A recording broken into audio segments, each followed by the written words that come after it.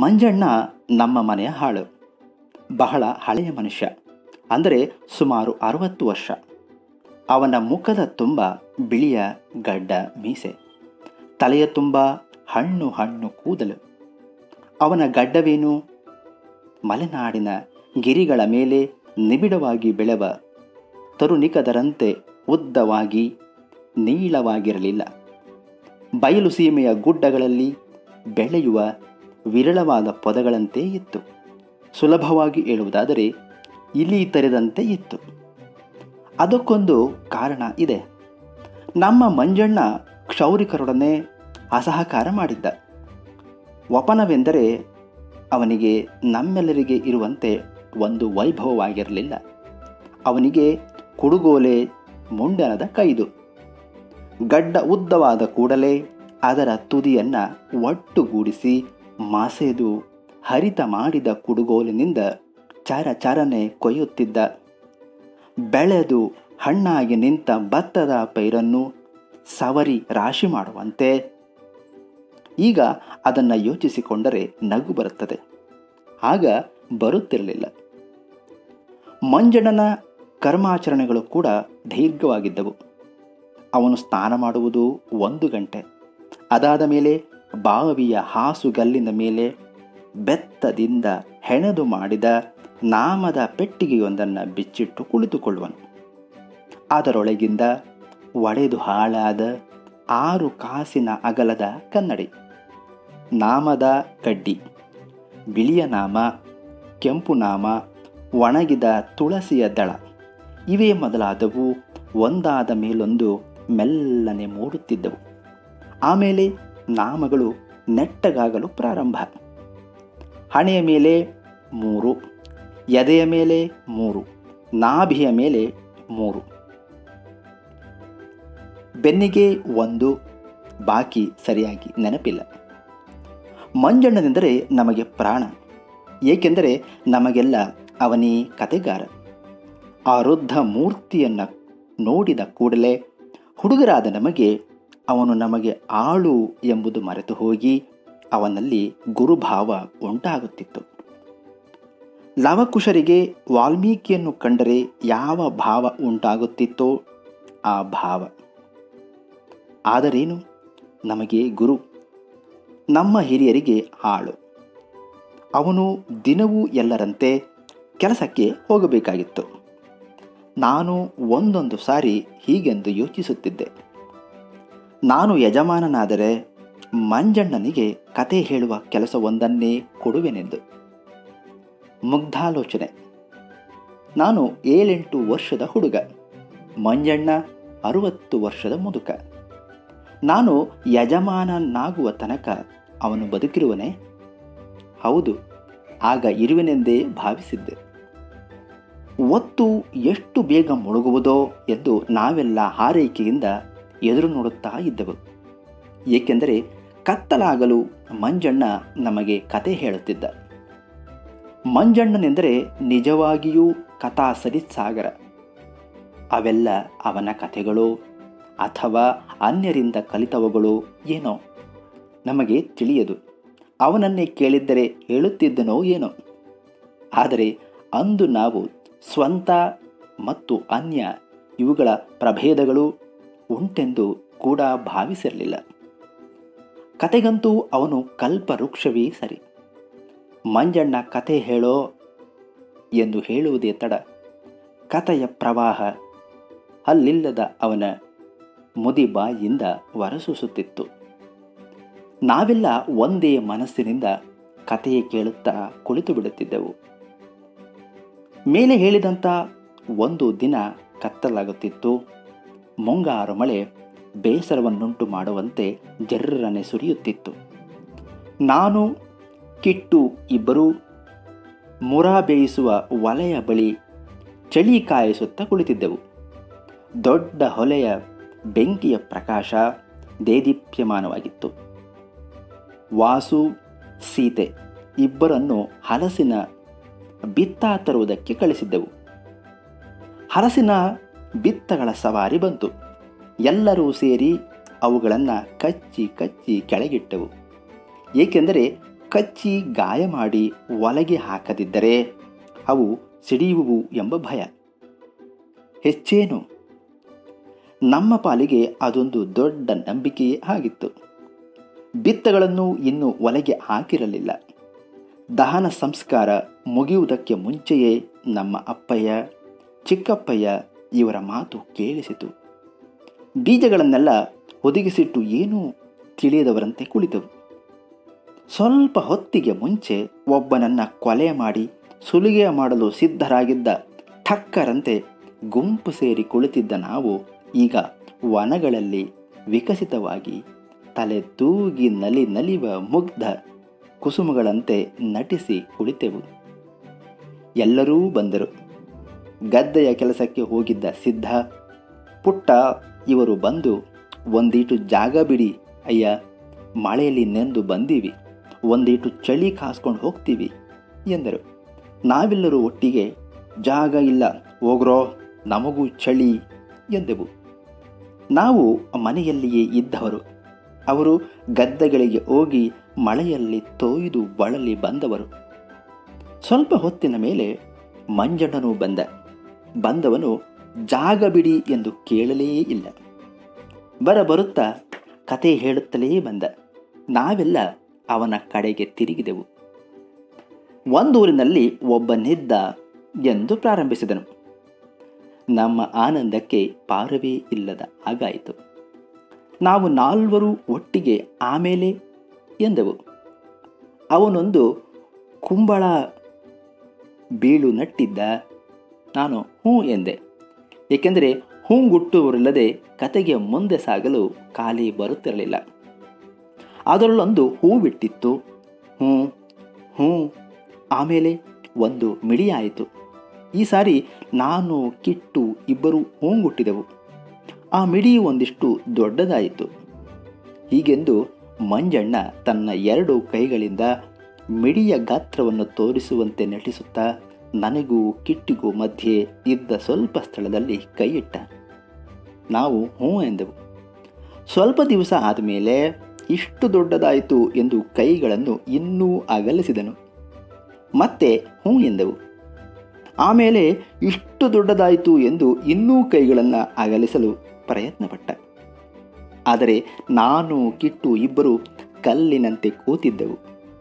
ಮಂಜಣ್ಣ ಸ್ವಲ್ಪ ಜಾಗ ಬಿಡಿ ಕತೆ ಹೇಳಿ ತೋರಿಸುವುದಕ್ಕೆ ಆಗುವುದಿಲ್ಲ ಎಂದ. ನಾವು ಸರಿದೆವು. ಒಂದು ಕುಂಬಳಕಾಯಿ ಎಷ್ಟು ಕಡಿಮೆ ಅಂದರೂ ಒಂದು ಅಡಿಯಷ್ಟಾದರೂ ದಪ್ಪ ಬೆಳೆಯುತ್ತದೆ. ನಿಜವಾದ ಕುಂಬಳಕಾಯಿಯೇ ಒಂದು ಅಡಿ ಬೆಳೆದ ಮೇಲೆ ಕತೆಯ ಕುಂಬಳಕಾಯಿಯನ್ನು ಕೇಳಬೇಕೆ?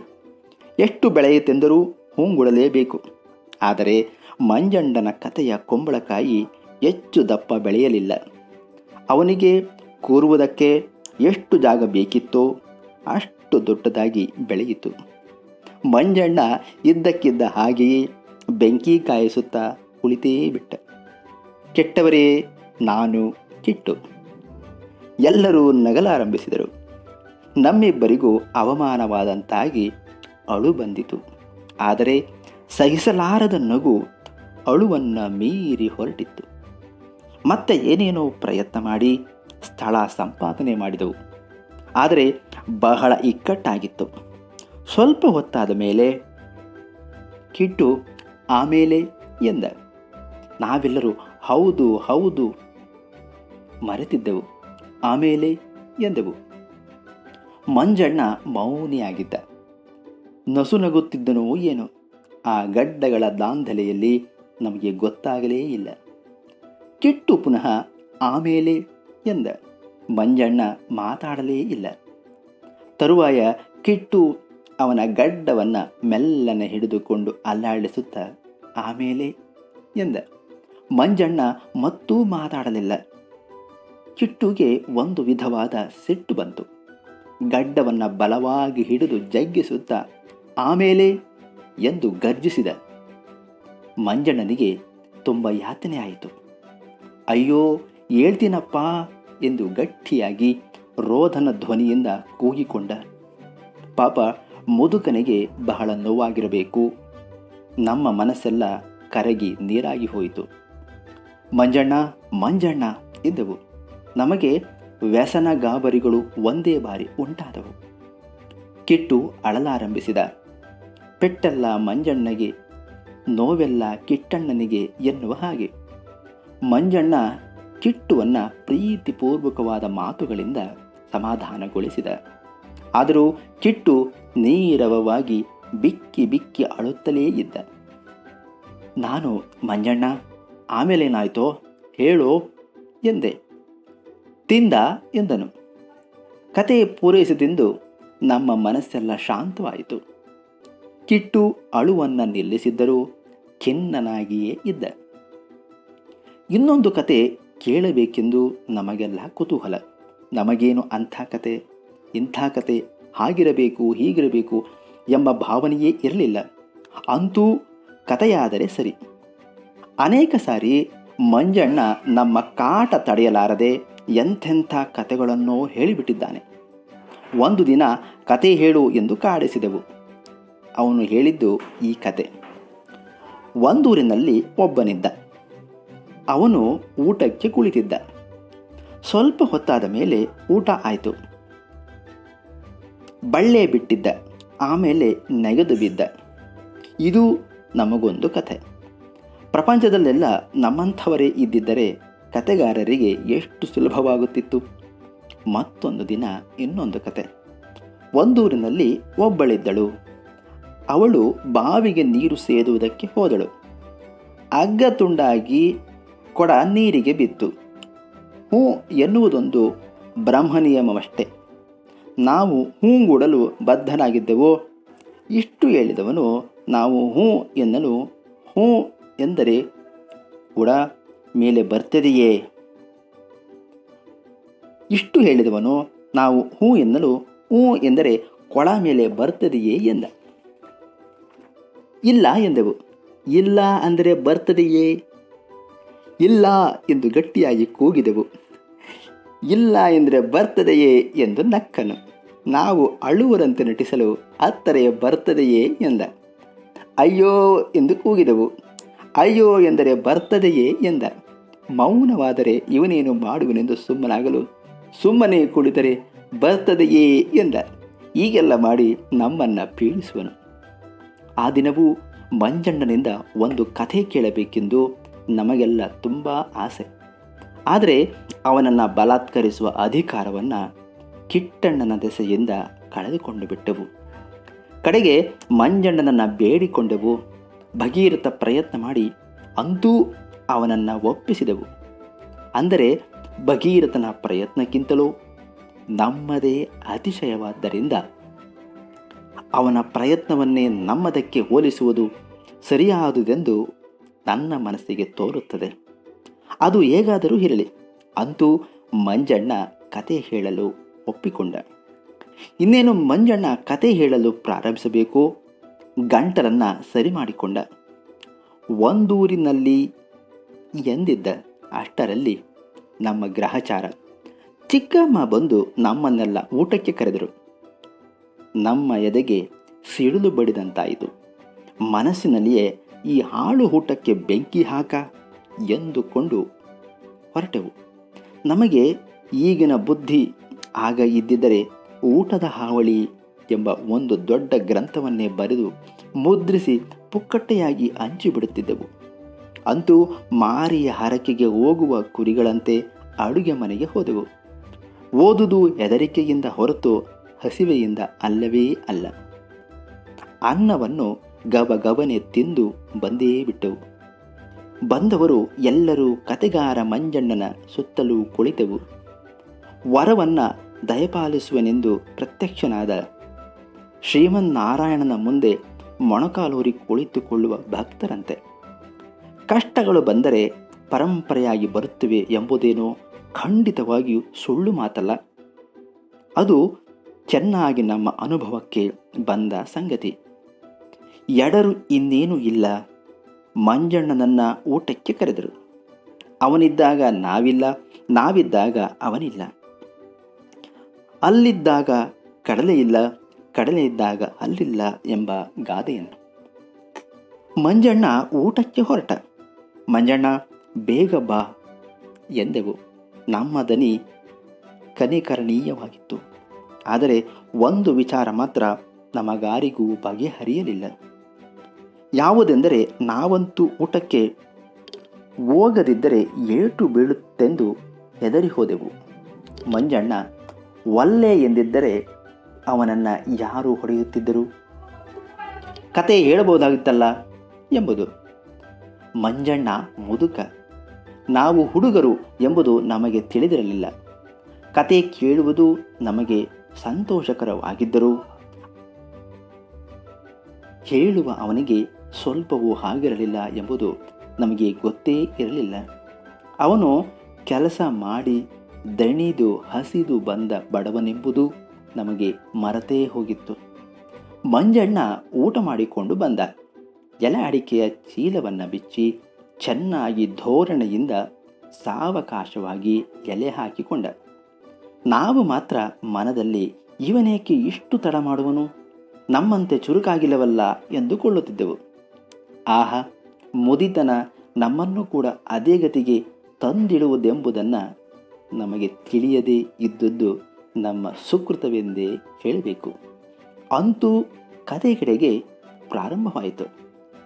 ಮುಂಗಾರು ಮಳೆ, ಮಲೆನಾಡಿನ ದಟ್ಟವಾದ, ಅರಣ್ಯದಿಂದ ಆವೃತವಾದ ಗಿರಿಗಳ ಮೇಲೆ ಬಿಡುವಿಲ್ಲದೆ ನಿರಂತರವಾಗಿ ಜರ್ರೆಂದು ಸುರಿಯುತ್ತಲೇ ಇತ್ತು. ಮನೆಯ ಮುಂದುಗಡೆ ಇರುವ ತೋಟದಲ್ಲಿ ಬಾಳೆಯ ಎಲೆಗಳ ಮೇಲೆ ಹನಿಗಳು ಬಿದ್ದು ಪಟಪಟವೆಂಬ ಮ್ಲಾರವನ್ನು ಉಂಟು ಮಾಡುತ್ತಿದ್ದವು ನಿಶೆ ಭೀಕರವಾಗಿ ಕೈವಲ್ಯ ಶೂನ್ಯತೆಯ ಗಭೀರತೆಯನ್ನು ಮನಸ್ಸಿಗೆ ತರುವಂತಿತ್ತು. ಅಂದು ಆ ರಾತ್ರಿ ಆ ಗಳಿಗೆಯಲ್ಲಿ ಸರ್ವ ಸೃಷ್ಟಿಯು ಉತ್ಪತ್ತಿಯಾದುದು. ನಾವು ಕತೆ ಕೇಳಲೆಂದು ಮಂಜಣ್ಣನ ಕಥೆ ಹೇಳಲೆಂದು ನಮ್ಮ ಮನಸ್ಸಿಗೆ ತೋರಿತು. ನಮ್ಮ ಹೊರಗಡೆ ಲೋಕವಿದೆ ಎಂಬುದನ್ನು ಮರೆತಿದ್ದೆವು. ಜಗತ್ತಿನಲ್ಲಿ ನಮ್ಮದಲ್ಲದ ಇತರ ಮಹಾ ಕಾರ್ಯಗಳು ನಡೆಯುತ್ತಿವೆ ಎಂಬುದನ್ನು ಮರೆತಿದ್ದೆವು. ಆಹ, ಅದು ಎಂತಹ ದಿವ್ಯ ವಿಸ್ಮೃತಿ. ಮೋಕ್ಷ ಎಂದರೆ ಒಬ್ಬೊಬ್ಬರ ಮನಸ್ಸಿನಲ್ಲಿ ಒಂದೊಂದು ಭಾವನೆ ಉಂಟಾಗಬಹುದು. ನನ್ನ ಆ ಮುದ್ದು ಮೋಕ್ಷದ ದರ್ಶನ ಚಿತ್ರ ಎಂದರೆ ಇದು ಬ್ರಹ್ಮಾಂಡ. ಮನಸ್ಸು ಲಯವಾದ ಮನಸ್, ಮಸುಗು ಬ್ರಹ್ಮಾಂಡ. ಅದರ ಸ್ವಪ್ನ ಗಭೀರವಾದ ಕೇಂದ್ರ ಸ್ಥಾನ ರವಿಯಿಲ್ಲ ಶಶಿಯಿಲ್ಲ ತಾರೆಗಳಿಲ್ಲ, ನೀಲ ಮೇಘಾಂಧಕಾರ. ಮಳೆ ನಿರಂತರವಾಗಿ ಸದಾ ಸುರಿಯುತ್ತಿದೆ. ಅದೊಂದು ಮಹಾ ಏಕಾಂತ. ಅಲ್ಲಿ ಆ ರಹಸ್ಯವಾದ ಬ್ರಹ್ಮಕೇಂದ್ರದಲ್ಲಿ ಒಂದು ಮುರ ಬೇಯಿಸುವ ಹೊಲೆ. ಅದರಲ್ಲಿ ಸರ್ವದ ಜಗಿಸುವ ಬೆಂಕಿ. ಅದರ ಬಳಿ ನಾವು, ನಾನು, ಕಿಟ್ಟು, ಮಂಜಣ್ಣ, ವಾಸು, ಸೀತೆ ಇಷ್ಟೇ ಜನರು ಚಳಿ ಕಾಯಿಸುತ್ತಾ ಕುಳಿತಿರುವವು. ವೃದ್ಧ ಮೂರ್ತಿ ಮಸುಕಾದ ಆ ಬೆಂಕಿಯ ಬೆಳಕಿನಲ್ಲಿ ಕತೆ ಹೇಳುತ್ತಿರುವನು. ಎಂದಿಗೂ ಮುಗಿಯದ ಕಥೆ ನಾವು ಏಕಾಗ್ರಚಿತ್ತರಾಗಿ ಆತನ ಮುಖದ ಕಡೆ ನೋಡುತ್ತಾ ಕತೆ ಕೇಳುತ್ತಲೇ ಇರುವೆವು. ಎಂದಿಗೂ ಮುಗಿಯದ ಕತೆ.